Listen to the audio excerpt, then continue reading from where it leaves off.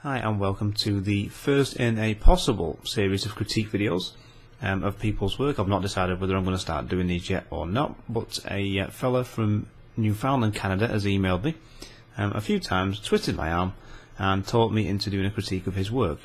Uh, so Steven uh, from uh, Newfoundland, Canada, this is going to be a critique of your work. Um, Steven is 18, um, he's a semi-professional photographer, uh, said he's been shooting for a little over a year now and shoots family portraits, uh, weddings, children as well. He also enjoys landscape and macro photography. Uh, the images that I'm going to show in this critique are of um, are portraits um, of some people and some children as well. I think one was an engagement session by the looks of it. Um, so we'll have a look at these images now. I'll give my thoughts. Remember, these are my thoughts on the images. Photography is a very, very subjective thing. Whether someone likes something, uh, another person may not. Um, but I will certainly give some feedback on these images um, in this critique. So we'll have a look at these images now. Okay, and welcome to the first critique video. Uh, thank you very much, Steven, for sending these images over. Um, so we'll have a look at these images now. Um, I am viewing these through Lightroom. The simple reason is the windows or built-in viewers were kind of doing funny things to the colours, so I figured we'll go to Lightroom, at least we know then we're getting a fair representation um, of the images, because um, I've seen looking at the EXIF data that they were processing Lightroom as well. So, okay, before we get into critiquing this image, um, we'll get the gear side of it out of the way, because I know the people who watch my channel are interested in all the gear. End of the day, it doesn't matter what camera you use, what lenses you have, learn it, get to know it, use it, and uh, to the best of its ability. So we can see this was shot with uh, ISO 100 with a 50mm lens. It's actually the Canon 50mm f1.4 at f2.2, 250th of a second. Um, Steven shoots with the Canon 50D, which is a crop sensor body. But again, what camera, what lenses you have, doesn't matter. You can get out there and um, get the results and start earning money with your camera should you wish to. Okay, so we'll have a look at this image. Now, what we'll do is we'll get rid of all this rush around the side, just so we can see the image. And uh, I'm guessing this is a either part of a family shoot or a um, child shoot. We've got a young fella here um, who's at the beach or possibly some kind of a coastline. It looks like it was shot towards the end of the day where the sun's setting and the giveaway here is the reflected colour of the sky top left corner. You, know, you get some really deep oranges deep reds in the sky. It's a really great time of day to shoot as well especially with natural light as it hits the horizon um, often called the golden hour. Okay so looking at this first image um, he seems you know quite happy um, is engaged with the camera engaged with the photographer uh, which is a good thing and it's a big part of doing it. You can turn up with all the gear that you want and if you're no good uh, dealing with people, talking to them, getting to know them, um, getting the best from them, or getting the real them to come out and show through the pictures that you take, then you're going to have nothing. I don't care what gear you're using, it's just not going to happen. So he looks he looks like he's comfortable with you, smiling. Uh, I'm guessing he quite enjoyed the shoot, and that's a big part of it. So uh, well done on that front. Now, looking at the image, he's quite centered um, in the frame, uh, so you'll often hear people say that you know don't put people in the center of the frame. It's you know use the rule of thirds. Yes okay to a point but you can break these kind of rules. However in this one he is a little bit probably too centered. There's a lot of dead space around him. Um, I noticed that you've tilted the the camera um, whether you maybe kind of are leaning over with him um, just bending down. But there is a definite tilt there and the giveaway is the horizon line which is top right of the frame. Now, you know, obviously this is the ocean out back here, so it would show a clear horizon, and we have the sky up this end. Um, I would probably try and crop this image. One, it would improve the composition. Two, it's going to get rid of that distracting horizon line. Um, because it really doesn't offer anything to the image. Um, the main background plate of the image or the background for him is the ocean and the water here so we may as well just keep it as that for me anyway. Um, also what it may allow you to do is crop out depending on how tight you want to crop this rock um, which is here. Um, I think it's a rock or maybe a stick I don't know. Um, other than that you could possibly clone that out of the image. Also that's another option for you. Um, I think this probably would be stronger even a tighter framing around him or possibly compose around the rule of thirds and do away with the horizon line. Uh, it's good that you've taken an angle which has placed him cleanly on the sea as a background and you've not got any kind of horizon line cutting through.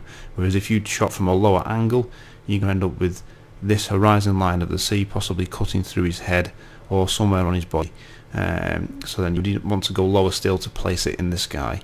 Um, it's overall it's a it's a good image um, he's you know he's smiling nice and happy I'm sure his parents are happy uh, now one thing as well in how this was taken um, ISO 100 f2.2, really shallow depth of field, 250th of a second on the shutter speed.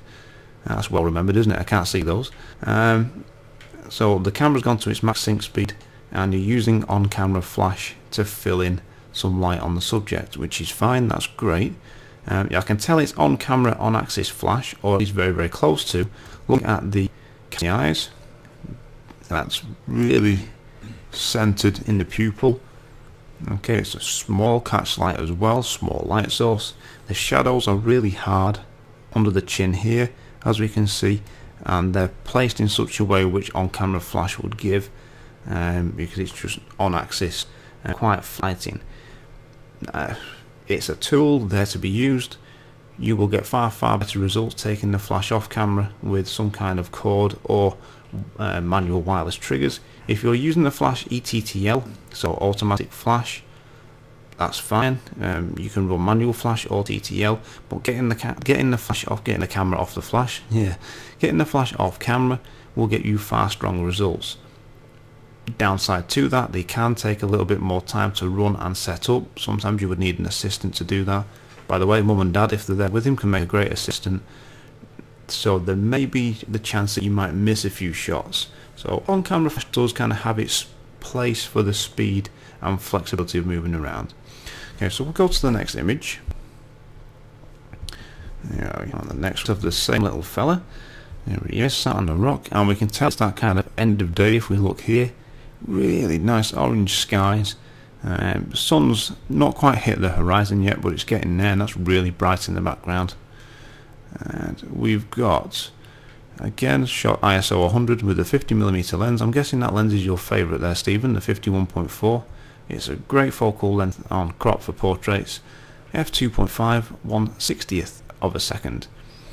Okay so we'll have a look at this image further so he looks again quite happy sat on the rock I don't think he's not making eye contact to the camera at this case, in this stage, not necessarily a bad thing. He's probably looking at a mum and dad over your shoulder, I'm guessing. Um, the natural daylight here is causing some lens flare. Now, you'll get a load of people that will say, oh, lens flare, that's bad. You should always put your lens hood on to prevent that. Well, guess what? It's directly facing the camera pretty much, so your lens hood's not really going to do much for you. And lens flare of that kind is actually quite interesting Personally, I quite like it, so that's not a bad thing at all. The shallow depth of field has helped keep him in a clean spot, his head in a clean spot, so the rock isn't too prominent. We can tell what it is, so he's nicely separated from that. Again, you've used some fill-in flash, which is on-axis on-camera flash. I've covered that already, but it's better than not doing, because all the light is coming from here.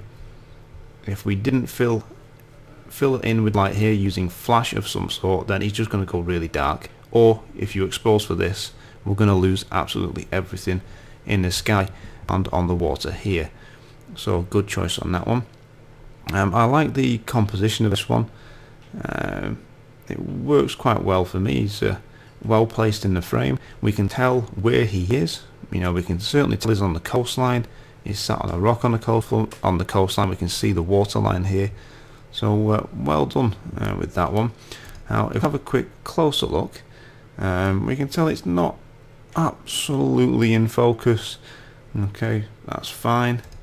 Now alright it's nice to have images in focus but one thing I will say on that um, is that the moment takes precedence over critical sharp images or really noise free images or you know oh I'm not going to use the high ISO because we get noise or the moment's gone so or it's blurry so you can't see anything. So don't worry too much about that uh, on that one but I think with him being kind of sat down and still posed I would have probably liked to see it a little bit sharper uh, but no problem at all. So we'll have a look at the next one. Uh, one thing just to comment as well so far on these images um, the call looks good. Uh, I'm guessing you like contrast in your images um, which is absolutely fine uh, I went through a stage in my photography where I used to pump a lot of contrast into my images and I've now kind of backed that off a little bit. But you'll find as you go along if you've only been shooting for a year Steven then your taste and your style is going to change. Yeah you will shoot stuff for your clients because they want they want a certain look. They might bring something to you which is really punchy really poppy colours and really contrasty and okay you've got to deliver that to your clients. Um, but that might not necessarily be your style per se um, but over the over the years you will end up developing a style. And I say years because it does take years to do. So let's have a look at the next one. And we have a little baby. Oh okay so uh, oops.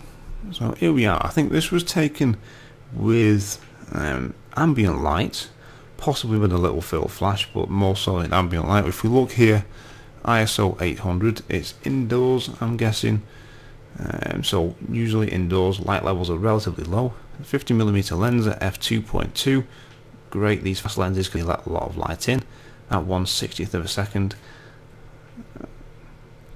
And, uh, and we'll take a bit of a closer look at this now. Now the processing of the image um, it's not it's a little diff kind of oh hang on we'll go back to that one. Yeah that's my fault press the button. We'll go back to it. Uh, my it's not my taste in black and white processing but again um, that's all very very subjective. Um, it's a great tight frame shot. I think it would look great up on a canvas on a wall. And so the frame's really filled nice shallow depth of field. You've got a nice expression on the baby here and you can see the shallow depth of field with the the shape of the bokeh in the background which I actually quite like on that one there. Uh, that's uh, quite nice. Now I can tell looking at this image that we've got more sharp focus around the nose and the mouth than we have eyes. At the moment take precedence over all of the composition sometimes. Um, it is nice to see the eyes nice and sharp because that's immediately what the eyes go to in an image. Um, focus on the eye which is closest to camera. In this instance you could get away with focusing on either of them. Um, but shooting such a shallow depth of field, if you have focused on the eyes and then recompose, it's amazing how quickly the focus can fall off. Although shooting little babies and little children, it could well be that they have moved slightly after your focus before you press the shutter all the way down. But a very, very good image. I'm sure the parents love that one. Um, like I say, nice tight frame. I love this kind of shot. Uh, well composed. Uh, so a good job on that one. We'll just go back to Lightroom. Um, look here. oh dear someone's upset. Okay, again, this is shot, I think, in a lower light kind of a situation. ISO 800 with the 50mm lens. Again, I can see a pattern here. Love this lens at f1.8, 150th of second. So we'll have a look at this now. Again, nice tight shot. Um, I quite like this actually. I know in the previous one I said that the eyes should be in focus, but I think within this situation it looks like the child's kind of reacted, maybe tilted the head back slightly, or just about to start wailing or crying, something's upset her. Um, not quite sure what, um, but it certainly captured that. We can see the tears falling down here. I quite like the processing on this nice shallow depth of field. You've left, it's quite nice tight framing, but you've left enough space not to clip the ear off too much and to show the rest of this headband or hat as well. Okay, it's out of focus, but it's still within the frame, so we can still see that because um, it's part of her outfit, her parents' outfit that she, they chose for maybe for the day. So uh, a good job on that one. I kind of want to know from this um, what had happened. I mean, what was taken away from her or what was said. Uh, it's quite interesting, and that's a good thing because it's made me stop, look, and think of, oh, I wonder what's going on here. So good job on that one. I think the next one is from an engagement set and again we'll have just have a quick look at the settings um, one thing to note uh, people who are watching this uh, in reference to the settings don't worry too much about them I'm just covering these just parts of it because your settings are different for any situation. You can't take settings from one person's picture and apply it to one of yours. It just doesn't work. So we've got ISO 100, 50 millimeter again, um, f2.2 and 320th of a second. Okay, great stuff. Uh, let's have a look at this. You'll like your contrasty black and whites, which is fine by me. I, I like contrasts and black and whites are great.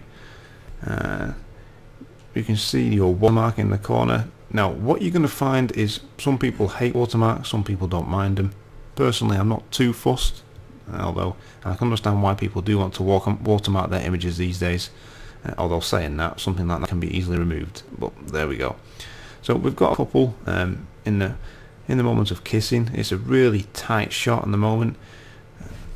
I quite like the processing on this one. Uh, we've not we might have lost some detail in skin here on forward. This is where the highlights go to really bright white. Um, it's might not be completely lost, but it's getting quite close. A little bit hot probably in there. That's probably the case of the the light, the natural light in the situation is hitting her more so here than in the shadow area here because she's probably been shaded by uh, either the environment that she's in or her husband to be kissing her.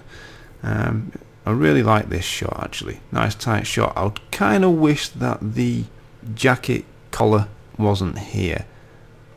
Difficult to kind of control when shooting a situation like that. If this situation just happens in front of you and you need to capture it, you can't say, whoa, whoa, whoa wait a minute, I need to kind of move your jacket collar because that the moment's kind of gone.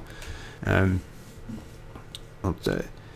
her eyes looking at the camera, kind of like, they do look a little bit kind of strained over too far so it can look a little uncomfortable if they're really trying to look over to the the left or to maybe to the right depending on which way you're looking.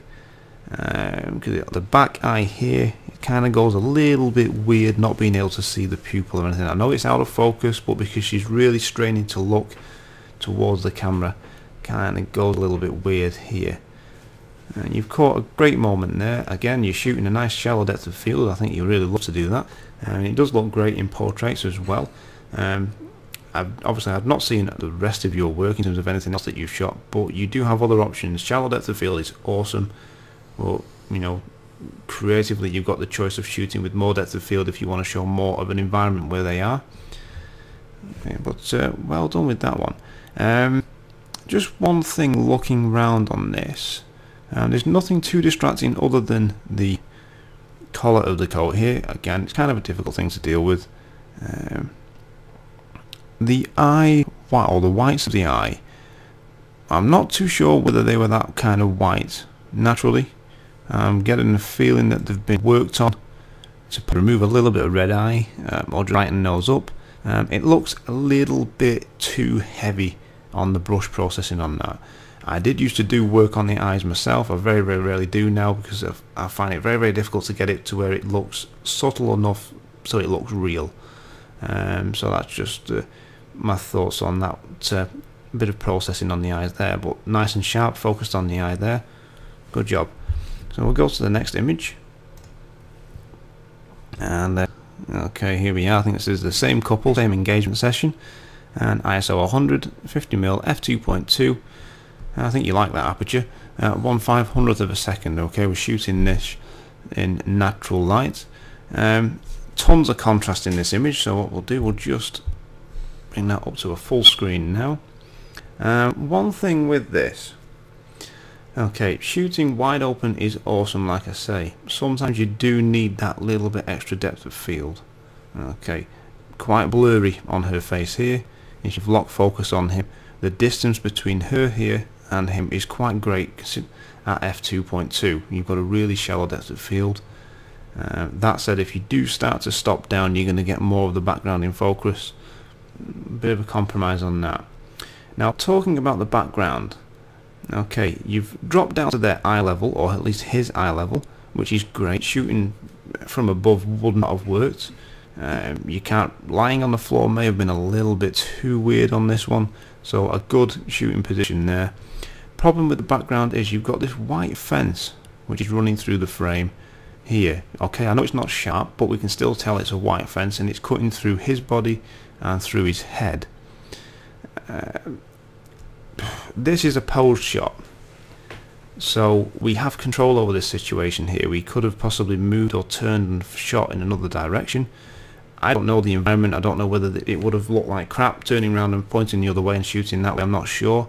But that's a little bit distracting really. I want to try and avoid things cutting through someone's person and certainly someone's head.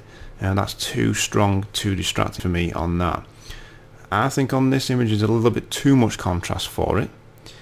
Okay, we're starting to lose a little bit of detail, in particular on her face. I think she's a little bit fairer skinned, so just watch out for that one. And this jacket here, the colour has started to go a little bit as a result. That said, if you really like the punchy, contrasty stuff, if that's becoming your, not so much your style, but the way that you shoot and process your images, that's absolutely fine. And like I say, that may change. Just be aware of when you're increasing things like contrast, saturation, uh, the effect it has overall on the image, in particular say with skin tones as well. So let's have a quick zoom in on here. Just wait for Lightroom to load. Sorry for the slow P I'm working on. There we go. Okay, not necessarily critically sharp. And there is a little bit of um, I don't know whether it's kind of focus, the plane of focus is somewhere else on him. So again, remember you want the eyes to be nice and sharp. If you're shooting wide open, nice shallow depth of field, focus and recompose, you've got to be really careful when you're doing so. So always move your AF point up to the nearest one to the eye or the person that you want to focus on or the subject you want to focus on. Uh, impress far, but just watch out for things coming through a person's head okay? I think this is a little bit too aggressive on the processing and the contrast personally. Uh, very subjective that's just my thoughts. So we'll have a look at the next one. Uh, compositionally I do like it. It's a nice framing um, on that one. I just kind of wish that this fence wasn't there. Um, although I don't suppose the, uh, the owner would like you going knocking that down so don't do that. So we'll go to the next one. And here we are same couple again okay now one thing I will say which is good within these this next series of images from the one we've just looked at through to the next ones you've kept the look consistent in terms of the processing so there's tons of contrast in it the saturation has been boosted so you've got a consistent look so if you were delivering a ton of different kind of looks to your client where the color's muted and the colour's all punched up and you've got no contrast, tons of contrast, it gets a little bit weird. So you've got a consistency working through there which is good. In this image we've got ISO 100, 50mm, f2.8 at 1 500th of a second so we're shooting this natural light. And we'll have a closer look at this. Okay I like the composition on this using the rule of thirds nicely framed. Okay on a third here with some portrait orientation where the camera's turned um, on its axis. Okay we've got a nice framing here within the bottom third of the feet and the legs. Uh, this shows the environment that they're in. Okay I've said before head in a clean spot. But this we can let go. We've got a shallow enough depth of field and enough separation. This doesn't kind of bug me too much through the heads. It's created a sense of space or place where they are at some kind of shipping port uh, which is good which may well be relevant to those clients. Maybe they own a boat. I don't know. They've worked for a company there. I'm not sure. Uh, one thing I do really like is this yellow beam here is seen as a leading line which will lead you to the couple. So you can see what's going on here capturing this tender moment between the two of them and we can also see a sense of space or place where that they are. Uh, so very good job on that one. Now really strongly composed I quite like that one. So we'll have a look at the next one. Here we go again that's a nice one. And we've got ISO 100 mil f2.8 thousandth of a second we're shooting this uh, natural light uh, I don't think we've put any kind of flash in look like it. Um, although you could well do using the ETTL and high speed sync. Uh, let's have a look here. Okay now we've noticed we've got the background here which is completely blown to white. That's fine it's going to happen. If you want to expose for these two here which are the most important parts of the subject that's going to go. Doesn't bug me at all. Some people will hate the fact that highlights are blown and on maybe on the side of his face you know what that's fine. You can sometimes you just got to let those highlights go. Um, as long as it's not at the really important parts the skin tones and the face here then that's fine.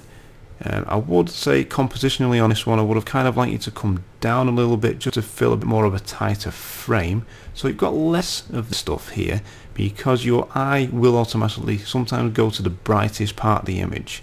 Now for me I'm looking at the couple. I know what this image is about. There is probably a little bit too much space up here and because it's blown out in the background remember this is in kind of full sun here. The building's been hit by full sun. Nothing you can really do about that. Um, I would have liked to maybe compose that a little bit tighter to minimize that fact so then it's less likely for the view eye to be distracted and go into this section here. Um, don't worry too much about this bit blowing out on the back of the jacket the side of his face. That's perfectly fine. But if you'd kind of dropped down a little bit moved a little bit to the right so you've got more of a tighter frame around them both. Okay that would have been good for me. Um, at the bottom of the frame here um, it's a very close moment you know the, the hugging they seem really happy. Again I said this in the first image that we looked at it looks like your clients are engaging with you they're comfortable with you there with the camera which is a big part of it. Um, you can see his hands here are kind of wrapped around her. Um, I possibly would have liked that to be a little bit lower so we're not cutting the digits of the fingers here um, on that one. But you've kept consistency like I say here it's the same punchy contrasty look um, so that's good. So you're not chopping and changing. So you're kind of consistent with the way that you're shooting or processing um, the images which is great. But I would just again drop down a little bit more of a tighter frame on that one there. Will have a look at this last one and this is the last one in the series. Okay there we go. Uh, it's obviously in the a day where you've got a ton of light so your ISO is kept fairly low on these ones. 50, no, really low the base ISO 50mm f1.8 1 500th of a second on this one.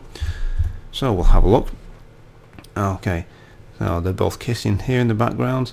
Um, the the windows of the building and this blown out space here can just be a little bit distracting on this one. I mean, highlights will go. You've got no choice unless you light them independently from the ambient light, which is hitting the building. Um, but there's probably, again, a little bit distracting seeing these windows up here. Now, I know what you've gone for here, and this is interesting because a lot of people will think, oh, focus on the person, focus on the eye. Uh, every time, focus on the eye. But you've gone for something a little bit different here, and you've focused on the hands with holding hands together. So that's good. And if you selective um, depth of field or selective focus just show that. So that's the most important thing in terms of where the image sharp and then the rest of it has gone out of focus. Um, although maybe a little too shallow a depth of field you could have done with a little bit more um, but we can still recognize that it's the same couple. Again same kind of punchy contrasty look. Um, not sure whether that bugs me. Sometimes if you're cutting digits off on hands it does kind of bug me but if we look at this we can actually kind of use his arm as a kind of a leading line to lead you into the image which is good. It's a nice tight frame. We can tell that this is within the getting onto the low third which is the most important part of the image what you were focused on or certainly looking to focus on. Uh, so well done on that one. With a little bit hot on the exposure on the hand, starting to lose skin detail in there so just watch out for those blown highlights. Um, but very very impressed. Um, so far I'm sure your clients are really happy. Again photography is a very very subjective thing. Some people may look at these look at the process and go I ah, know I don't like that one. Or why do you do why didn't you do some more black and whites? Oh I love I like color I like black and white I like this I like that. It's all subjective. Um, keep shooting. Um, keep practicing, keep developing your style of shooting, um, keep working with your clients. I'm sure a good thing to do is to ask for feedback of your clients and of course feedback from other photographers, kind of ironic this here we are doing a critique, um, but feedback from people does certainly help. And I'm not talking about the feedback that you get on Flickr, which is nice, nice depth, nice depth of field. Ooh, wow, nice image. You know, you want a little bit more than that. Um, so, but uh, so go out there and seek some critique on your work, which you have done by asking me to look at them, but go um, further afield and, and ask others um, to critique your work as well. A good thing that you can do uh, with critiques is to find a local photographer to you um, whose work you like, who you respect, or maybe who you look up to, and go and ask if you can sit with them and they can look through your work. But don't take a laptop or a tablet or an iPad. Do something different. Take a print folder. and take some prints in for them to look at. Okay, so very well done, Steven. I hope you continue to shoot. Um, I know that you said you enjoy doing macro and landscapes as well. I know all this has been portraiture based, so from that, I'm kind of thinking that the macro landscape stuff's kind of your personal thing that you like to do away from doing client stuff and portraiture, which I'm sure you enjoy doing, so that's fine. Um, but just make sure if you're marketing yourself to clients that this is kind of what they mainly see and they don't come to a website which shows um, client, child, child, family portrait, nice, nice client, you know, family portrait, child, landscape, macro. Whoa, where did that come from? So just make sure you're consistent in, you know, with who you're trying to target for your paid work. Um, if need be, you can set up a separate site for your landscape work if that's what you want to do. But very impressed with these, good work. I hope um, you take on board some of the things I say. Like I said, that's my opinions.